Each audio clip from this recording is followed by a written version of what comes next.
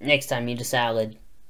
Religion and politics often make some people lose all perspective and give way to ranting and ripping and carrying on like emotional children who then refuse to ah. discuss it with reason or else we prefer argument hominem, which is a hell of a way to conduct a discussion. Well, anyhow, not long ago I was talking about the elections and how the campaigns were ignoring the issues and sticking instead to inspective and personal crap that had nothing to do with the substantive problems of running a government, which is all true as you know if you follow the speeches and so-called debates of the candidate. Anyhow, one of the guys I was talking with said not a word in the whole conversation except the end when he suddenly chuckled and said, we're all full of shit, why didn't we go live in Russia or China if that was the way we all hated the United States of America? Next thing you know, the whole meeting session was more like a frolicky, and that blue kid fandom was incredible. Someone said son of a bitch, and I think he said bastard. I couldn't be sure, it was all too confusing. Well, anyhow, I was attempting to get it all back on a rational level. I tried, for example, to talk to the one who had started it all, and I asked him, just what did he mean we're all full of shit? Was he making a statement of fact as he knew and where's his uh, documentation to back up his claim? I think Socrates would have been proud about the way I refuted his argument, that is, I tried to refute it, but all he could offer by way of rebuttal it's more of the same about how we're all full of shit,